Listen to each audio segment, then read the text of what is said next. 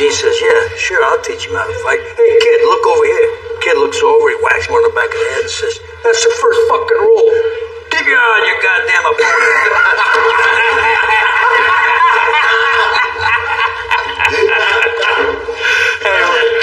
What's up, fellas? Like, you toads seem like the coolest guys in this place, so I was thinking, you know, like, we should get to know each other. What?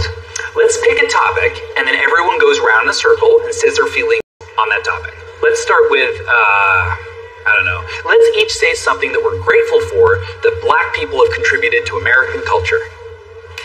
Is this dude joking right now? No! Hey, look, I'll go first.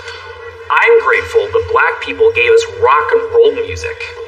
Lynyrd Skynyrd, ZZ Top, 38 Special, all those guys owe everything to black American folk and blues musicians. I mean, they wouldn't exist without them.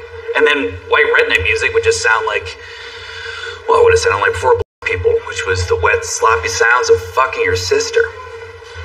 Okay, so that's my turn. Which one of you dumb sister fucking tiki torch carrying sloths from the Goonies looking pieces of shit wants to go next? Who the fuck are you? You're first? Cool. Okay, wait, no, let me guess.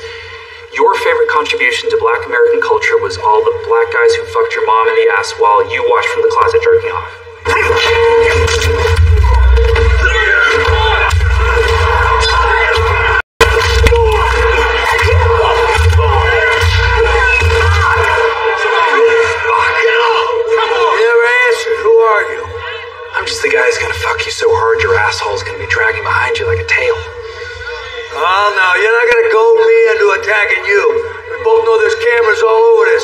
now these morons look like the aggressors.